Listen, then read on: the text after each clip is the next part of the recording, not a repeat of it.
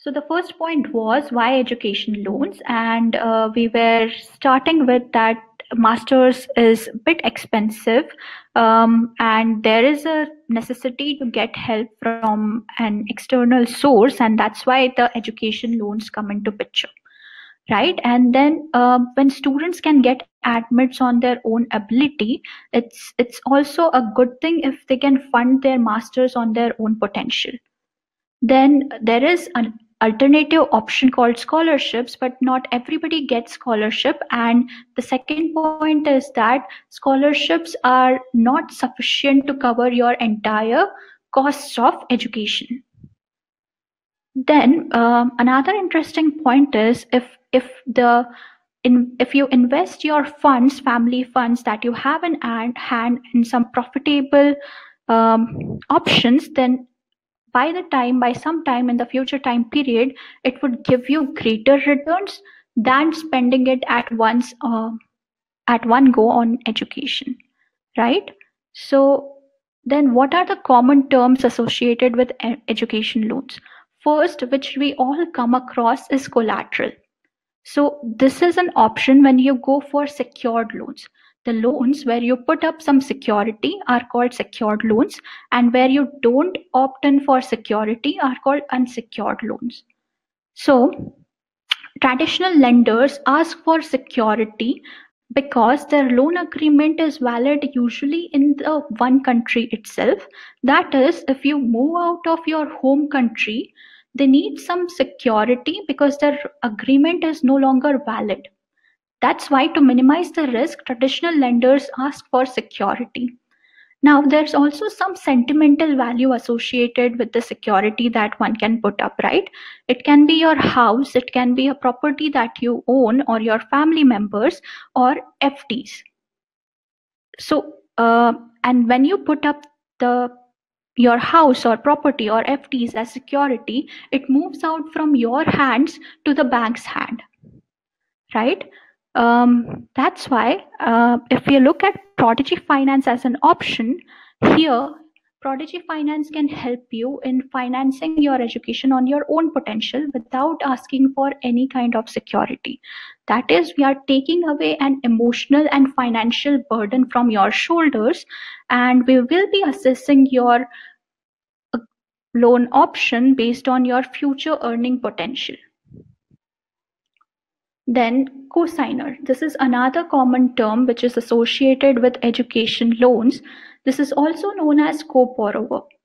Now, if you look at some lending options, you will find that you even you can get a loan without putting up security, but you will need a co-signer, right? So there are some lenders that can opt for this option that can give you loans based on co-signer. So uh, here you'll have to put up uh, someone as your co-borrower. Usually they are your parents or close family members.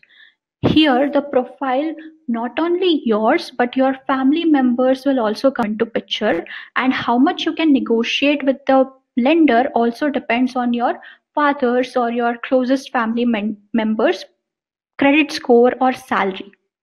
And another interesting fact is the offer that you get from lender can differ based on the fact that if you are giving something as security or not. With Prodigy Finance, you don't even need a co-signer to go uh, to get a loan. Right? We believe that your master's degree will make you credit worthy than uh, asking you for the current assets that you own. Then what are the different types of lenders that we see um, in India or in the local market? First is public sector banks. Now I have put up four factors across which we can measure different lenders that we see. First is what is the loan amount that the lender can give you. Public sector banks can give you a maximum of 90% of your entire cost of attendance. Cost of attendance includes both your tuition fees and living expenses. Now, in the remaining 10% in most of the countries has to be paid by the borrower itself, which is called the margin money.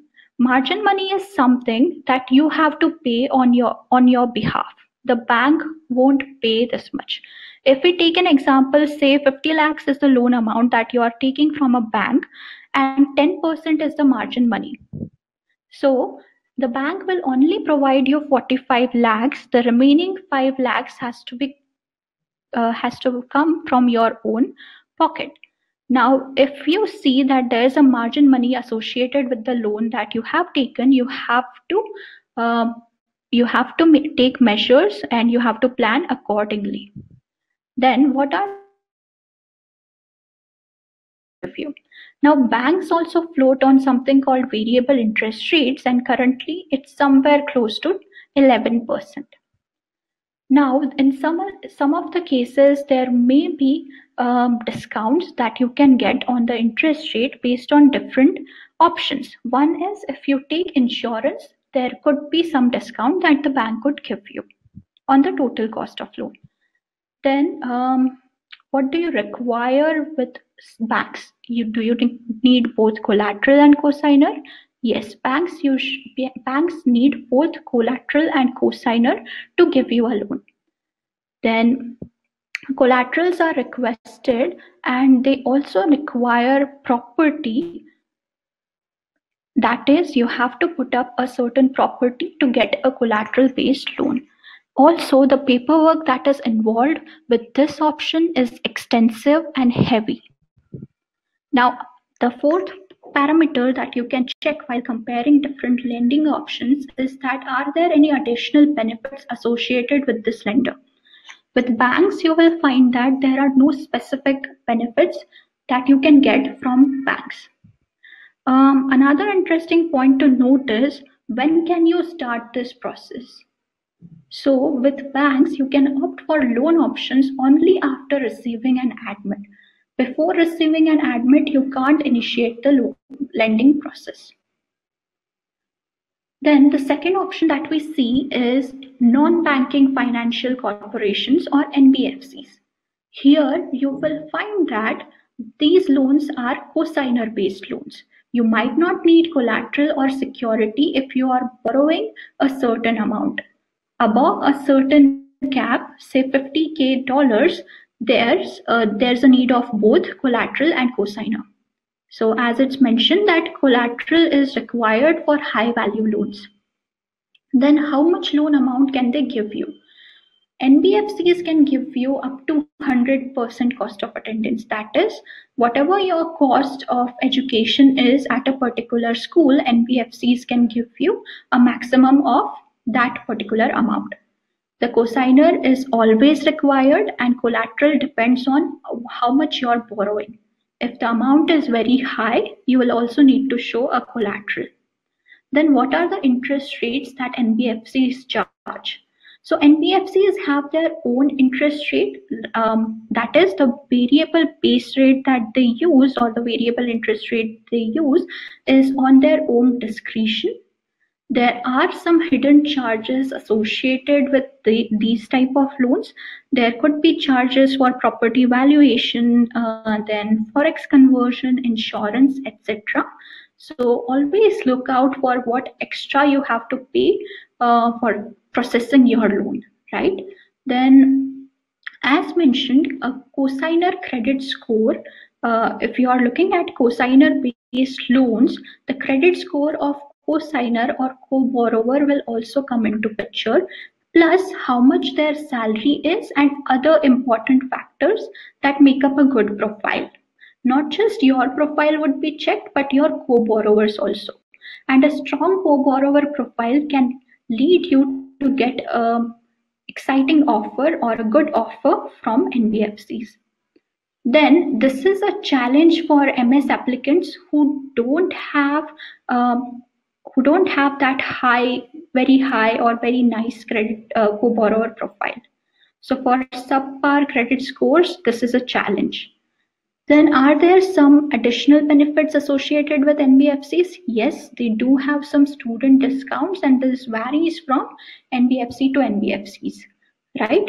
Then uh, when can you apply? Here, a good thing is that you can apply even before receiving an admit. Now let's look at the third option, which is international lenders. So um, International lenders like Prodigy Finance do not need a cosigner or collateral. These loans are collateral and cosigner free.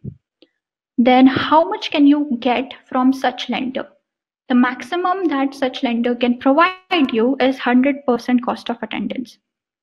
Meaning whatever the cost of education at a particular school is, including your tuition and living expenses, that is the upper cap that you can get with such lenders. Then how are these loans assessed? These loans are assessed on merit basis based on the application that you submit to the lender. The your application is critically assessed and an offer is given to you. Then the interest rates are customized. As mentioned, based on the application that you have submitted to the lender, your uh, loan offer would be decided and your interest rate is one of the many important component of that offer. Then what is the variable rate that is used by such lender? LIBOR, which is called London Interbank Offer Rate, is the variable base rate used by such lender and it's globally accepted rate. Then are there hidden charges, any hidden charges with Prodigy Finance? No, there are no hidden charges associated with Prodigy Finance. And how is the process or what are the loan terms?